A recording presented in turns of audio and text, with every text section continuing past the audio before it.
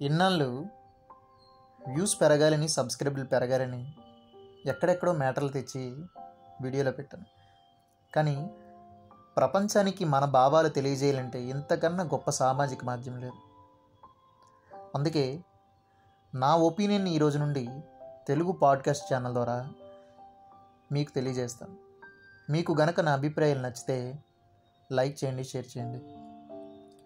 ఇంకా ఈరోజు మ్యాటర్లోకి వస్తే ఎప్పటి నుండో వేధిస్తున్న ప్రశ్న.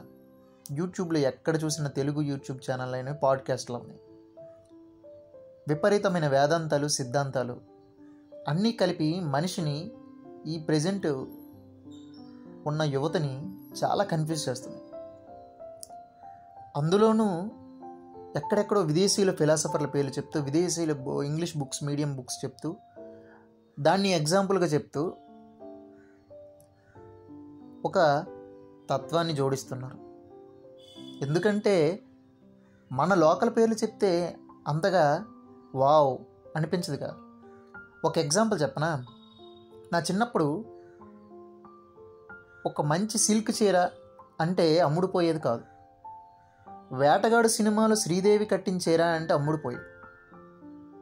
సో దూరపునున్న కొండ నునుపు. మన దేశంలో పుట్టిన మహోన్నత ఫిలాసఫర్ అయిన జిడ్డు కృష్ణమూర్తి లోకాన్నంతటికీ సద్గురు అనిపించుకున్న జగద్గురు అనిపించుకున్న మనకు మాత్రం కానరాడు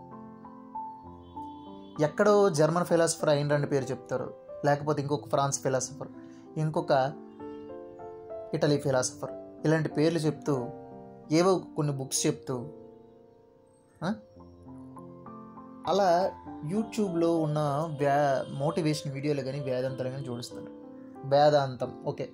వేదాంతం అంటే అర్థం ఏంటంటే వేదాల చివరి భాగం వేద ప్లస్ అంతం. వేదాలలో ఉన్న సంక్షిప్త సమాచారాన్ని వేదాంతాల్లో చేర్చారు. దాన్నే తత్వం భారతీయ తత్వం.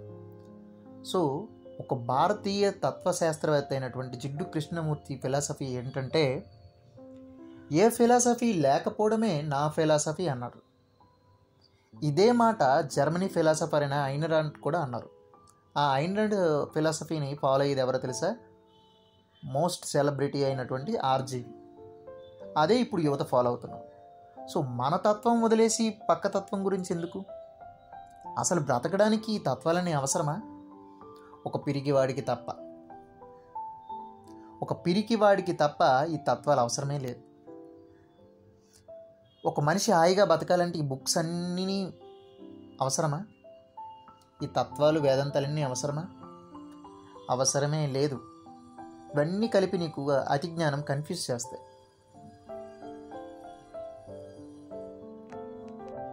మరెందుకు ఇంతమంది ఈ వీడియోలు మోటివేషన్లు ఎందుకు చూస్తున్నారంటే కాలం మారింది వీడియోలు చూస్తున్నారు.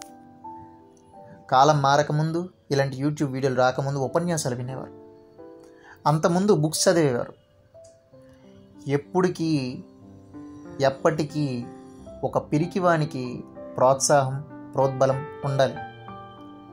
ఎందుకంటే భయం ఎప్పుడు వెన్ను తడుతుందో తెలియదు వీళ్ళకి. యుద్ధానికి సిద్ధమైన అర్జునుడికి కూడా ప్రోద్బలం అవసరమైంది. దాన్నే మనం భగవద్గీత అంటాం. సో మోటివేషన్ తప్పులేదు. కన్ఫ్యూజ్ చేయడం తప్పు. సిద్ధాంతాలు తప్పులేదు.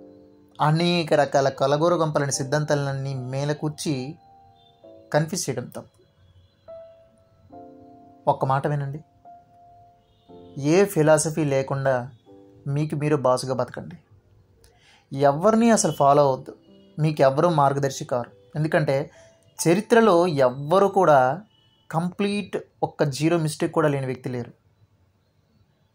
ఈవెన్ మనం గాంధీజీ గురించే మాట్లాడుకుంటాం. బోల్డ్ అనే మిస్టేకులు చేశారనుకుంటాం. స్వాతంత్ర్యం తెచ్చిపెట్టిన జాతిపిత మీద ఎన్ని మచ్చలున్నప్పుడు? మనం ఎంత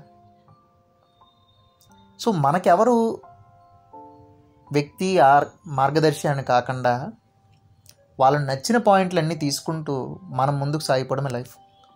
దీనికోసం ప్రత్యేకమైన వేదాంతం సిద్ధాంతం ఫిలాసఫీలు అక్కర్లేదు. థ్యాంక్ యూ ఫర్ వాచింగ్ నా అభిప్రాయాలు కనుక నచ్చినైతే నచ్చినట్లయితే లైక్ చేయండి.